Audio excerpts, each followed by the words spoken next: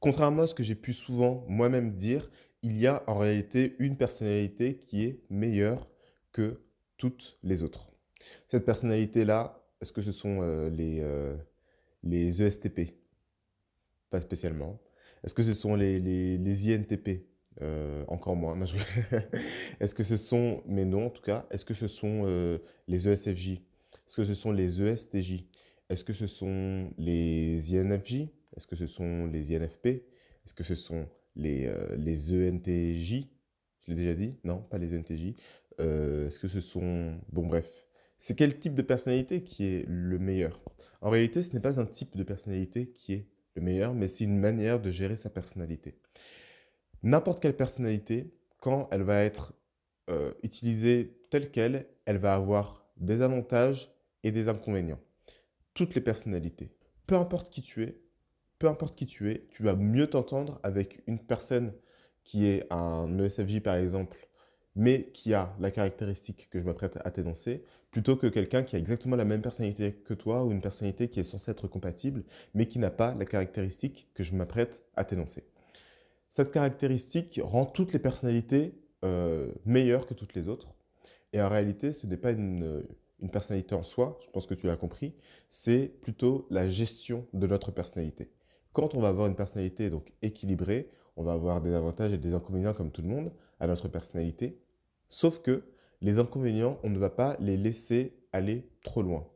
Bien souvent, quand on observe la vie des gens, on va se rendre compte que la plupart de leurs problèmes, la plupart de leurs peurs sont liées à leur fonction dominante. Ils vont surutiliser une fonction, délaisser totalement les autres, penser que la seule bonne réponse est leur fonction dominante. Si c'est un penseur introverti, ça va être TI H24. Si c'est euh, un FE, ça va être FE H24. Si c'est NI, ça va être NI tout le temps, etc., etc. Et en réalité, ça crée bien des soucis parce que on a deux fonctions dominantes sur euh, huit fonctions en tout et techniquement 16 si on prend aussi les sexualités des fonctions. Donc, ça ne suffit pas. La seule chose qui compte, c'est d'équilibrer sa personnalité. C'est pour ça que la seule chose qui compte est d'équilibrer sa personnalité et ce, peu importe la personnalité qu'on a à la base.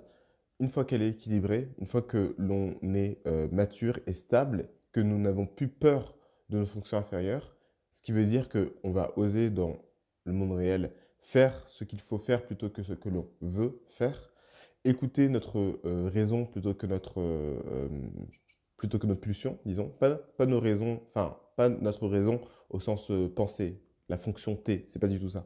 C'est notre raison au sens de notre conscience, disons. Tous les problèmes que nous avons, tous les comportements que nous savons qu'il serait mieux de ne plus avoir, euh, disparaissent une fois que l'on a équilibré sa personnalité. Donc, est-ce qu'il y a un, meilleur type de personnalité? Oui. Quel est-il?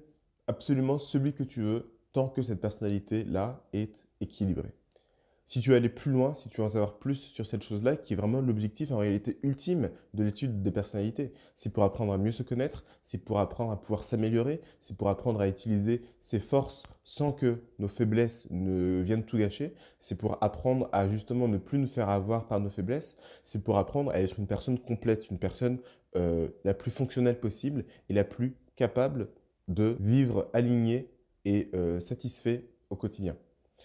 C'est pour ça qu'on est tous intéressés par ce sujet-là. C'est l'objectif euh, que nous avons tous. Et cet objectif, justement, dans le premier lien dans la description, tu trouveras une formation qui t'apprend étape par étape à l'atteindre. J'ai étudié pendant des années euh, les grands sages, ceux qui ont réussi justement à avoir cet équilibre-là dans leur personnalité. J'en ai créé une formation complète et seulement jusqu'à mardi, il y a 100 euros qui sont offerts sur cette formation. C'est le premier lien dans la description tu peux activer le code en cliquant dessus et tu trouveras toutes les informations, tout ce que tu vas apprendre dans cette formation. Et il y a aussi un mois d'espace membre qui sont offerts, qui est le meilleur endroit, la plus grande bibliothèque de contenu euh, dans le monde francophone sur le MBTI efficace. En plus de ça, il y a aussi ma garantie tester sans risquer, qui est présente d'ailleurs sur toutes mes formations, qui te permet de te procurer la formation, de regarder un des modules et si tu te rends compte que ça ne te plaît pas, tu n'as qu'à envoyer un mail et tu es remboursé sans avoir à dire quoi que ce soit euh, dans, les, dans les heures qui suivent. Bref, tout ça se trouve dans la description. Clique sur le premier lien pour activer le code et en profiter. Des dizaines de personnes ont déjà euh, suivi cette formation. Elle n'attend plus que toi. Et d'ailleurs, on se retrouve de l'autre côté et on commence euh, avec le premier module qui permet d'apprendre à repérer les déséquilibres qui ensuite nous permettront de les équilibrer par la suite. Mais qu'est-ce que c'est un déséquilibre? Comment est-ce qu'on le repère? C'est ce qu'on voit tout de suite dans le module numéro 1 de la formation. Premier lien dans la description. À tout de suite. Salut. Ou à demain sur la chaîne, dans tous les cas. Bye.